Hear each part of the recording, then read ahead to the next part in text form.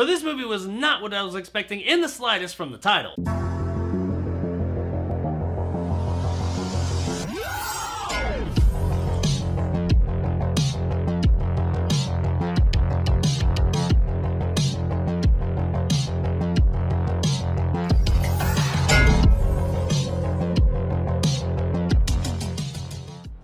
A Writer's Odyssey is brought to us by director Yang Lu and stars Okay, here we go. Jaylin Lee, Zhaijang Dong, and Mi Yang. Sure, I just nailed all that. Six years after the abduction of his daughter, a man is hired to kill the author of a novel. But the world of the novel intersects with reality. Okay, so A Writer's Odyssey, which by the way is just not a good name, is kind of a mishmash of real world reality and fantasy. The basic idea behind the story is that this novelist is writing a fantasy novel, and everything he writes in this fantasy world has something something that happens similar to it in our world, and it starts to affect certain people in our world that are the characters within the fantasy world. But not because he knows any of these people or anything, just because I guess that's how it worked out. I know that sounds really fucking confusing, which it kind of can get that way, but it's done pretty well and you understand it as you're watching the movie. The story's actually really cool and pretty damn creative. I really like how they interwove the two worlds together. It's not like the exact same thing that happens in this world happens in that one, but it's usually kind of like the outcome of what happens in this one is the same as in this one over here, or there's like similarities. And that was really neat to see the story unfold in these two worlds. This movie looks great. Like it is visually arresting, and not just the fantasy world, which yeah, that looks amazing, but even in the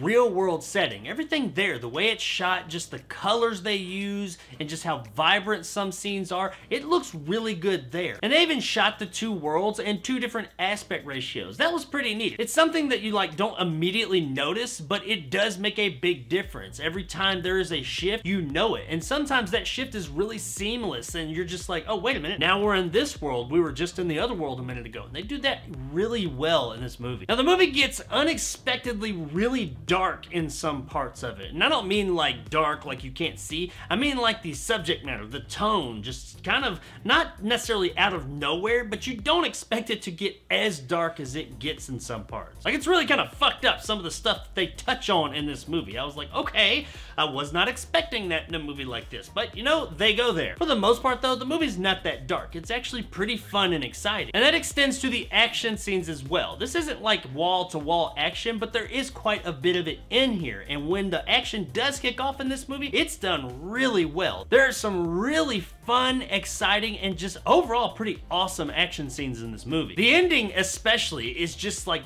fucking batshit crazy, over the top. They throw in some crazy shit, including some comedy that I just wasn't expecting, but somehow it just all makes sense, and it's really fun and really entertaining. The ending of this movie was very satisfying and just pretty kick-ass all around. Like you've got like these mythological knights wielding giant Gatling guns, fighting giant four-armed monsters, and trees and armor comes to just just all kinds of crazy shit, and it was a fucking delight to watch. If nothing else, this movie ends on a hell of a high note. Overall, the story is more complex than I was expecting it to be, but it's not like the deepest thing in the world, but it's definitely deep enough for what they were going for. That being said, I do wish some of the characters could have been deeper. Now, our main character has some great motivation that we can all get behind, but all the other characters, for the most part, come across a bit thin. Most of the performances we get are really solid. There's just not enough material material there for the characterization. And that is probably this movie's biggest Achilles heel is the characters. They're all kinda one note. Now from a visual standpoint, this movie is a crowd pleaser. The stylized visuals of this fantasy world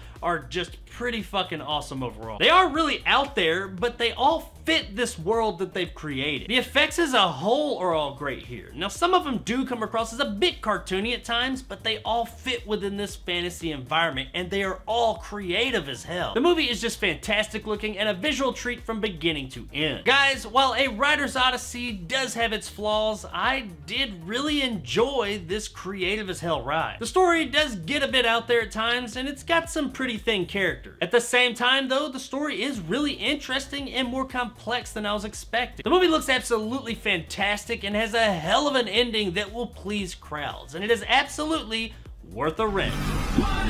All he wanted was this. To return some videotape. This movie's not perfect by any means, but I had a really good time with it. So if you're looking for a fun, creative as hell fantasy movie for the night, then check out A Writer's Odyssey, and I think you're gonna have a really good time with it. So there it is, guys, my review of A Writer's Odyssey. If you enjoyed and want more content like this, hit that subscribe button and help my little channel grow. If you want to help out the channel, check out my Patreon in the description below and become a jarhead and get some of the awesome benefits to go along with that, like these guys, and possibly join my top tier and become a bad motherfucker like my man Greg C and Dragon Con. If you liked what I had to say, give me a like. If not, let me know in the comments below why. And as always, stay sexy, Beijing.